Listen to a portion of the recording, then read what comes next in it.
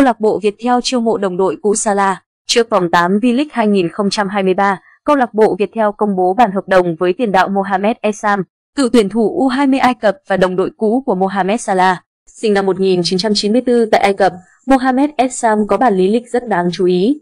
Tân binh câu lạc bộ Viettel từng là một trong những thần đồng của bóng đá Ai Cập.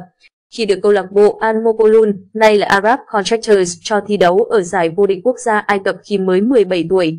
Anh cũng chơi 4 trận cho U20 Ai Cập, là đồng đội cũ của siêu sao Mohamed Salah. Essam cũng có 6 năm thi đấu ở châu Âu và 4 năm ở quê nhà Ai Cập, nhưng thường xuyên chuyển đội bóng và không có thành tựu nào đáng chú ý. Năm 2022, Essam quyết định chuyển sang Đông Nam Á để phù hợp với trình độ. Mùa giải 2022-2023, Mohamed Essam khoác áo hai câu lạc bộ và có đóng góp giúp cả hai thăng hạng. Đầu tiên là Nakhon Pathom ở Thai League 2, nơi Essam ghi 9 bàn giúp đội lên nhì bảng sau giai đoạn 1.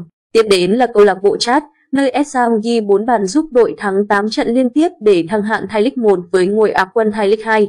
Với phong độ đang lên, Essam được kỳ vọng sẽ là sự bổ sung chất lượng trong bối cảnh Viettel đang nằm ngoài cuộc đua vô địch V-League sau những trục trặc nhân sự từ đầu mùa.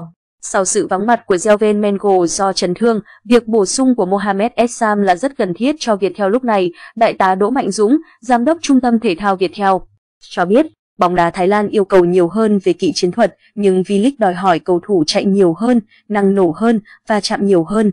Tôi nóng lòng được ra sân và tận hưởng không khí V-League, Mohamed Essam chia sẻ.